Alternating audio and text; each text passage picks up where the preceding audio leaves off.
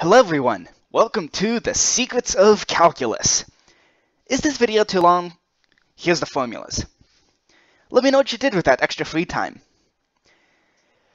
Last time, we began a journey into the realm of infinity, and discovered that getting infinitely close to something is the same as equaling that same something, when it's most convenient. We helped the function g of x equals 2x times x minus 1 divided by x minus 1. We helped this function join the function party, because the host didn't define continuity very well. Now let's see if the function f of x equals 1 over x minus 1 can join the party. Here, the forbidden value is x equals 1, but this time it's for a good reason. There's no cancellation we can do to escape the inevitable. Plugging in x equals 1 will cause you to divide by 0. Can the limit help? Of course it can. Let's see what happens when x gets closer to 1. Well, that's interesting. As x approaches 1, y gets absolutely enormous.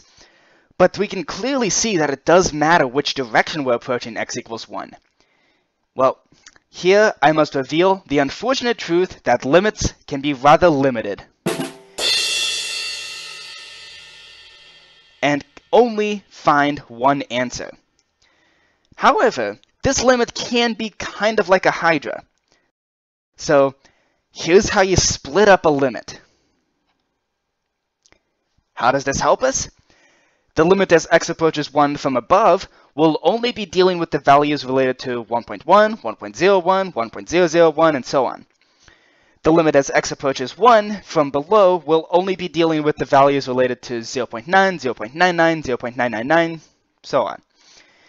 If the and if the above and below terminology is going to start confusing you, just turn the paper 90 degrees counterclockwise. See? Above, below. Since the approaches from above calculations get ludicrously big in the positive y direction, we can logically conclude that at 1.0 repeating 1, the limit will equal infinity. And since the approaches from below calculations get ludicrously big in the negative y direction, we can logically conclude that 0.9 repeating, the limit will equal negative infinity. Now, if we were if we were to combine the results together, we would actually get that since infinity and negative infinity are not equal, the limit as x approaches 1 of 1 over x minus 1 does not exist. It would return two different values, and the limit can only exist if it can handle 1. Now, if we could combine the two results together, we would get the rather outrageous result that 1 divided by 0 is positive or negative infinity. But just remember what we had to do. That this 0 is not really 0. Just like infinity is not really a number, this 0 and infinity are used as notational shorthand to say that as the denominator gets closer to 0, the answer gets bigger in the positive or negative directions depending on whether the, the, the whether the denominator is positive or negative. Yikes, what a mouthful. But unfortunately, this does mean that f of x equals 1 over x minus 1 cannot get the limit stamp of approval, and or the limit seal of approval and cannot join the function party.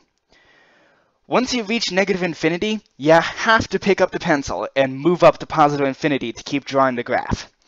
Or, I guess you could go onto the paper, but even with taking the pencil analogy way too literally, the sharp edges of the paper prevent you from pulling off the sorcery. But now, 1 over x squared can join, and so can natural log of absolute value of x.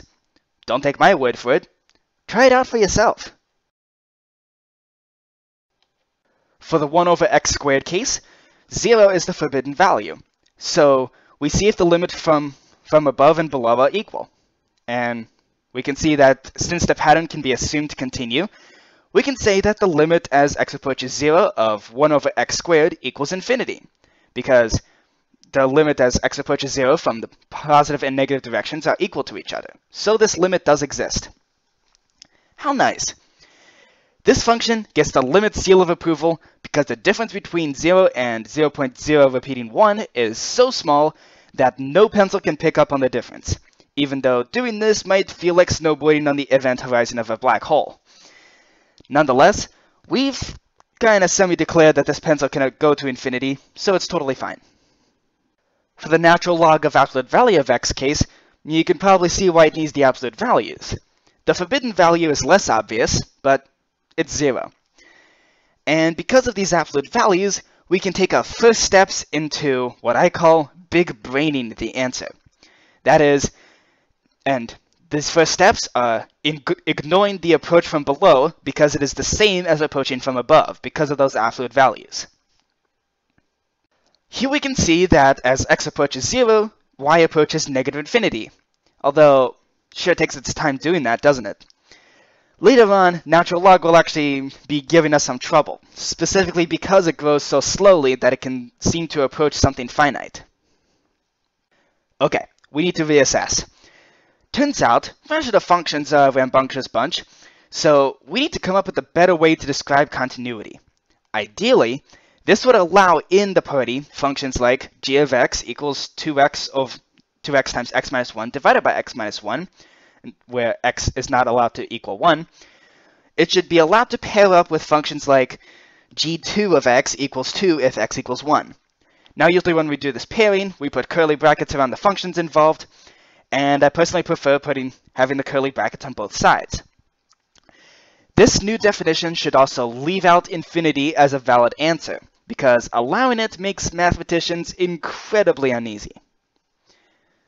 Now this is your turn. See if you can find that definition. Here's a hint.